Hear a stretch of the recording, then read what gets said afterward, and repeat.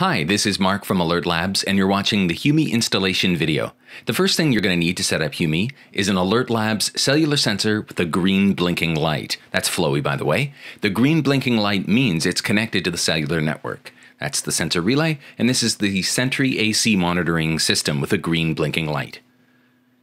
Next, you're going to want to pull that tab to turn on Humie.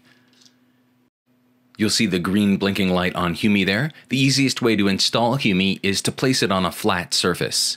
And when you do that, make sure that there's at least one inch on all sides. You can see the slots there. That allows air to flow through it, and also never get Humie wet. You can also hang Humie on a wall. Make sure it's about four feet off the ground. Use a stud finder to find a stud. Slip the collar onto the screw, and screw it into the wood. And then the keyhole is oriented like that on the back. It slips over the screw. That's better. You can always tighten that screw too if it's too loose.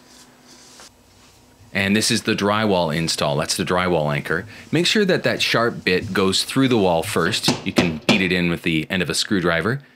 And now you can screw in the drywall anchor. Make sure it's nice and flush.